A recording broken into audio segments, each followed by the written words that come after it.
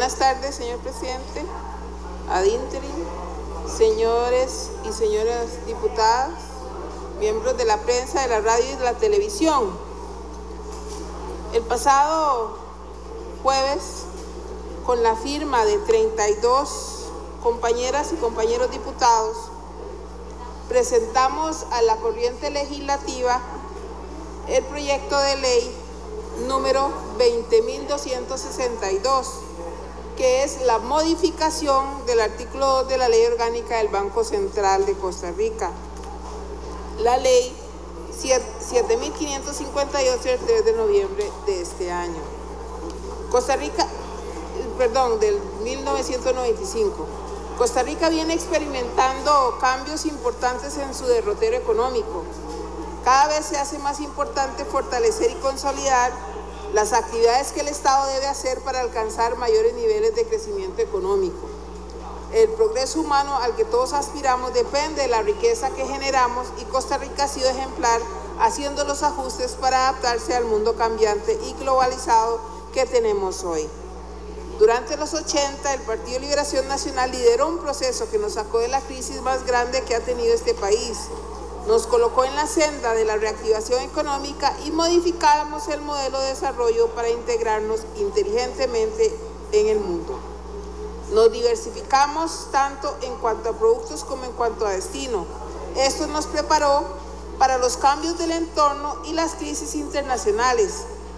Fueron visionarias las administraciones de don Luis Alberto Monge y don Oscar Arias al ponernos en la senda del crecimiento y la estabilidad económica pero también para sacar el mayor provecho posible al cambiante entorno internacional. Hoy exportamos en bienes más de 10 mil millones de dólares al año y 6 mil millones de dólares en servicios. Nuestros productos y servicios llegan a más de 160 países en todos los continentes del orbe.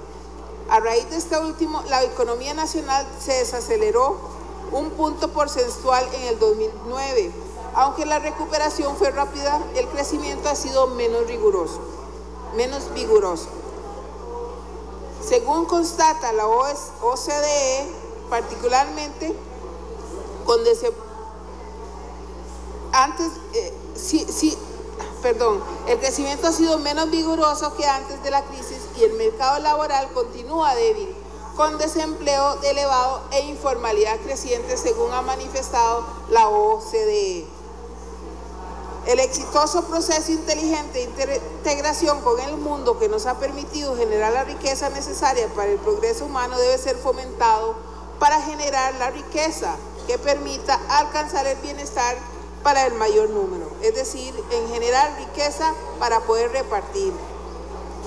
Por los motivos anteriores hemos propuesto un proyecto de ley para modificar el artículo 2 de la Ley Orgánica del Banco Central que busca otorgar a los objetivos centrales del banco la meta de la ocupación plena de los recursos productivos y el desarrollo económico.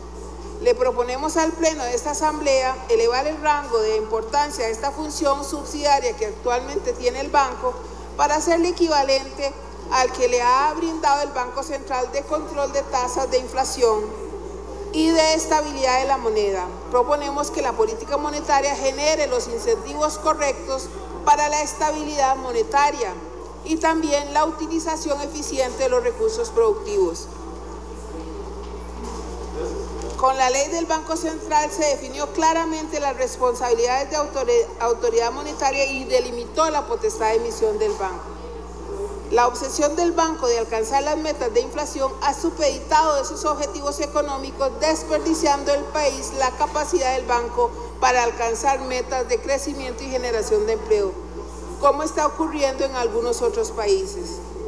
Debo finalizar, y no puedo hacerlo sin dar el crédito de esta idea a los exdiputados Guillermo Zúñiga, Patricia Pérez, Walter Céspedes, Víctor Hugo Víquez, Víctor Granados, Martín Monestel, Janet Ruiz y Víctor Hernández quienes la propusieron anteriormente con el expediente 18.056, dictaminado afirmativamente y unánimemente por la Comisión de Asuntos Económicos en el 2013, pero archivado por el vencimiento del plazo cuatrienal posteriormente.